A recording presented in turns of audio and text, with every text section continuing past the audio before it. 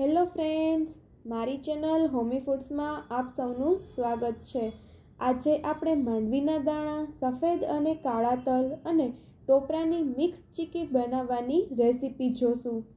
તેના માટે સૌપ્રથમ એક વાસણની અંદર બસોથી અઢીસો ગ્રામ જેટલા માંડવીના દાણા લેવા અને તેને શેકી લેવા. દાણા શેકતી વખતે ગેસની ફ્લેમ મીડિયમ રાખવી, જેથી કરીને બધા દાણા વ્યવસ્થિત શેકાઈ જાય. આ દાણા શેકતી વખતે તેને સતત હલાવતા રહેવું, જેથી કરી બધા દાણા શેકાઈ જાય. દાણાનો કલર બદલે ત્યાં સુધી આપણે તેને શેકવાના છે. છતાં તેમ ના ખબર પડે તો દાણાના ફોતરા ઉખડે તેટલા આપણે શેકવાના છે. દાણા શેકાઈ જાય એટલે તેને ઠંડા થવા દેશું અને તેના ફોતરા ઉખેડી લેશું. ત્યારબાદ આપણે સો ગ્રામ જેટલા કાળા તલ લેશું અને તેને પણ શેકી લેશું. આ તલ ફૂલે ત્યાં સુધી આપણે તેને શેકવાના છે. તલ શેકતી વખતે પણ તેને સતત હલાવતા રહેવું, જેથી કરીને બધા તલ વ્યવસ્થિત શેકાઈ જાય. તો હવે તમે જોઈ શકો છો કે તલ ફૂલી ગયા છે, એટલે કે તલ હવે શેકાઈ ગયા છે.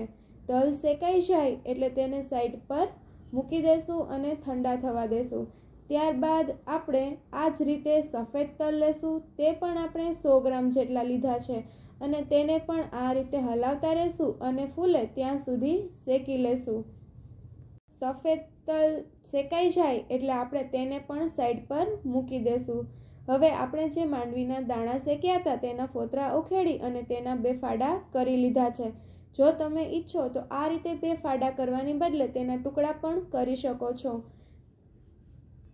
દાણાના બે ફાડા અથવા ટુકડા કરવાથી ચીકી વણવામાં સરળતા રહે છે.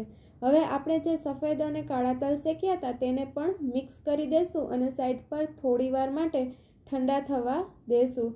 ત્યારબાદ આપણે સૂકું ટોપરું લેવાનું છે અને તેને પતલી ચીરમાં કાપી લેવાનું છે. ટોપરું પતલી ચીરમાં કાપવું જેથી કરીને ચીકી વણવામાં સરળતા રહે. આ ટોપરું પણ મેં અહીં સો ગ્રામ જેટલું લીધેલું છે.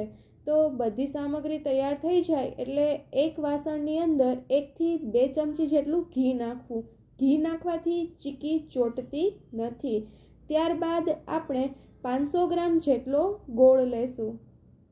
અહીં મેં દેશી ગોળ લીધો છે. તમે ઈચ્છો તો કોલ્હાપુરી ગોળ પણ લઈ શકો છો. દેશી ગોળમાં ચીકી બનાવવાથી તેનો કલર થોડો કાળો આવશે, પણ દેશી ગોળ ખાવામાં ખૂબ જ હેલ્ધી હોય છે. હવે આ ગોળને આપણે ગેસ ઉપર ગરમ કરવા મૂકીશું અને તેની પાય લઈ લઈશું. ગોળને હલાવતા રહેશું અને તેની પાય લેશું ગોળની પાય આવે તે દરમિયાન આપણે બે પ્લાસ્ટિકના કાગળ લેશું અને બંને પર ઘી લગાવી લેશું તમે ઈચ્છો તો તમે ડાયરેક્ટ પ્લેટફોર્મ ઉપર પણ ઘી લગાવી શકો છો અને ત્યાં ચીખી પાથરી શકો છો. અને આ રીતે પ્લાસ્ટિકના કાગળ ઉપર ઘી લગાવી તેની પર પણ પાથરી શકો છો. ગોળમાં જેમ જેમ પાય આવશે, એટલે કે ઉકળતો જશે, તેમ તેમ ગોળનો કલર પણ બદલાતો જશે. તો આ ગોળને આપણે સતત હલાવતા રહેશું. હવે ગોળની પાય આવી ગઈ છે કે નહીં, તે કઈ રીતે ખબર પડે? તો તેના માટે એક વાટકીની અંદર ઠંડુ પાણી લેવું અને તેની અંદર ગોળના થોડા ટીપા નાખવા.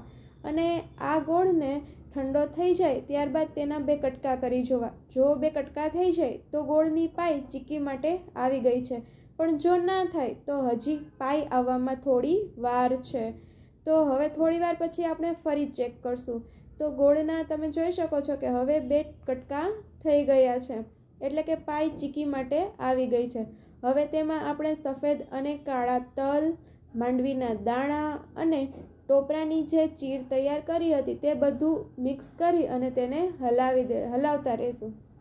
આ સમય દરમિયાન કાં તો ગેસની ફ્લેમ સ્લો કરી દેવી અથવા તો બંધ કરી દેવો અને હલાવવામાં પણ ખૂબ સ્પીડ રાખવી, જેથી કરીને ચીક્કી ચોટી ના જાય અને સારી રીતે મિક્સ થઈ જાય. બધી વસ્તુ મિક્સ થઈ જાય એટલે આપણે તેને જે પ્લાસ્ટિકના કાગળ ઉપર ઘી લગાવ્યું હતું તેની પર પાથરી દેશું અને તેની ઉપર બીજો પ્લાસ્ટિકનો કાગળ મૂકશું.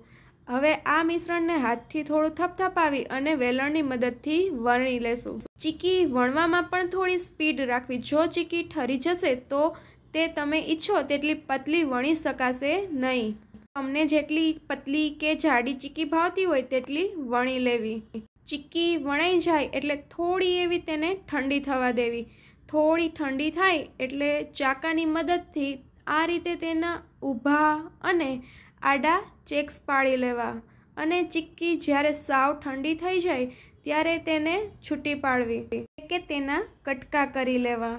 તો ઉત્તરાયણ આવી રહી છે અને ઉત્તરાયણમાં ચીક્કી ખાવી ખૂબ જ હેલ્ધી છે. તો આ ઉત્તરાયણ ઉપર મારી રેસીપી જરૂરથી ટ્રાય કરજો અને મને કમેન્ટમાં જણાવજો કે ચીક્કી કેવી બની. જો તમને મારી રેસીપી પસંદ આવી હોય તો મારો વીડિયો લાઈક કરો, તમારા ફ્રેન્ડ્સ જોડે શેર કરો અને મારી ચેનલ સબસ્ક્રાઈબ કરી લો. Thank you.